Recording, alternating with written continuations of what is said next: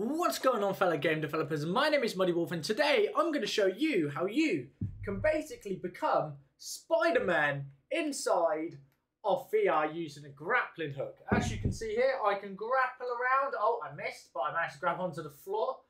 There we go. I can grapple around, find my way around and just swing around using a little grapple hook.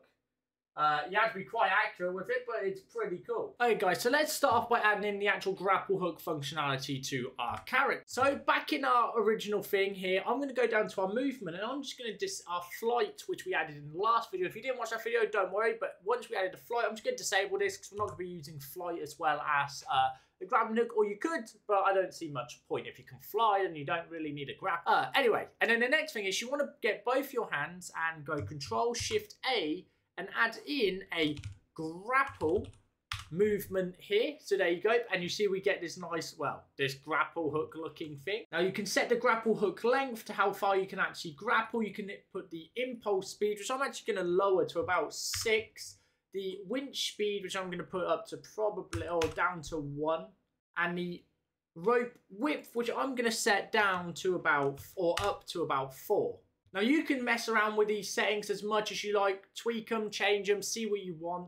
But the most important part is the grapple mask needs to be what you're grapple grappling to. So here we have the grapple target over here, which is what we're going to be using. Now if you don't have these layers, you can come up to Project, Tools, XR Tools and click Set Physics Layers and that will make sure your layers are named uh, ready for, well, working in XR. And once you've got that, we can copy this, add it over to the, oh, copy, you know, let's just right click copy and paste. And there you go. Now we have a grapple hook set on both hands and the grapple button is going to be our trigger button.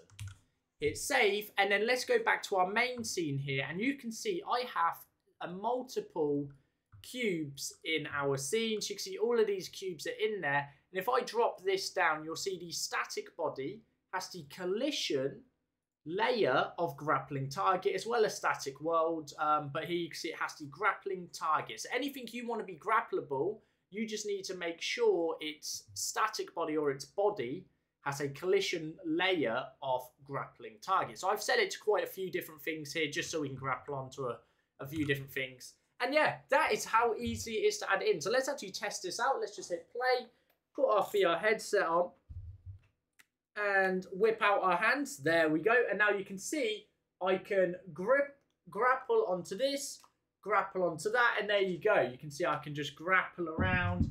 It's pretty cool. I'm basically Spider-Man now. Ooh. Alright guys, so that's how you add in grappling hooks to your VR game. As you can see in Godot, it's super easy. It's already built in to the XR tools. Um, so you don't need to worry about too much and it all just works out of the box. It's pretty straightforward and pretty cool. So guys, if you want the source code for this video, uh, you can go down to the Patreon link below and get your hands on the source code. All you have to do is become a Patreon member. It supports the channel and gives you access to all the tutorials from the past videos. And that's going to be it for this video, guys. So thank you for watching and I will see you in the next one. Peace out.